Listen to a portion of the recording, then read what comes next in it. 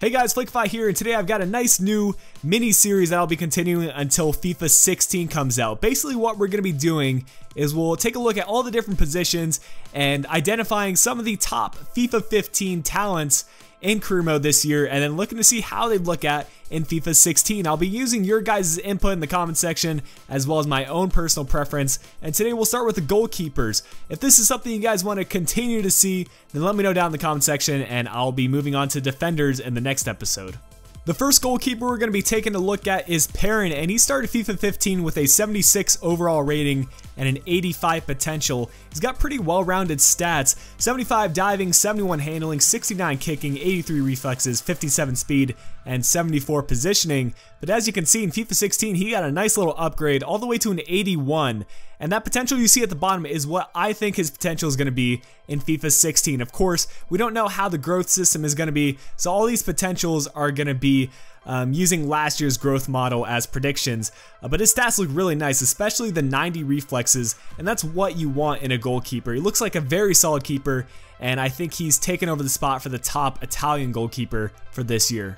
Every year, Jack Butland seems to be a popular option in career mode, probably because he's one of the best young English goalkeepers, but he got a nice little upgrade this year. In FIFA 15, he started as a 72 rated player with some pretty nice stats. The 76 diving and 78 reflexes really do stand out, and he had 84 potential, but this year he's a 74 rated card, so almost a gold, and his stats are even better 77 diving and 81 reflexes. I'm going to predict he gets a little bit of a potential increase up to 85, uh, but I think he's going to be always another solid option. And again, I think he's going to be the most popular English choice for young players at the goalkeeper position. And Leno has to be the card that I'm most excited to use at the goalkeeper position for this coming year. He's just a very well-rounded keeper and he doesn't really have a negative aspect. This year he does have an 84 rating and he's as solid as ever. 84 diving, 84 handling, 81 kicking, 85 reflexes, and 83 positioning. You can't go wrong there, and I think he's going to be a very solid option for the teams that have a bit more money to spend. I think he's going to be kind of expensive this year, but I think he's got to be one of the top mode talents, uh, at least in terms of young players. Scufetta is another very popular option in terms of goalkeepers in career mode, and last year he had 87 potential, so he was probably the number one young player to pick up in terms of career mode goalkeepers. But this year he has a 72 rating, and I think he's actually going to get a potential downgrade, downgraded by one to an 86, because of course he is a year older, and he's only go gone up by one.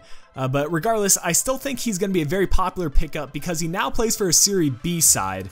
So I think you can maybe pick him up for a decreased price while still having a very solid player with a lot of potential. Uh, we'll see if he does manage to reach that potential this year, but he's going to be a very interesting option.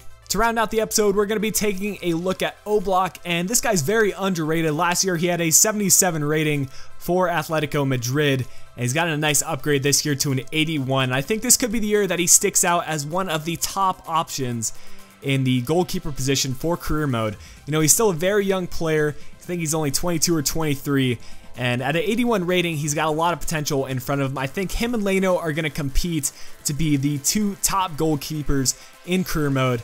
And I think he might even be able to beat out Leno, but it'll be very interesting. His stats don't really reflect his 81 overall rating, just the handling, reflexes, and positioning is really a category as well for an 81 rated player. So I think Leno beat him out a little bit on that, but I still think he's going to be a very solid player and definitely one to check out. Well guys, that's going to wrap things up for the goalkeepers today. I hope you have enjoyed this little mini series. As we get into the other positions, I'll also be reflecting the skill moves and weak foot for those players.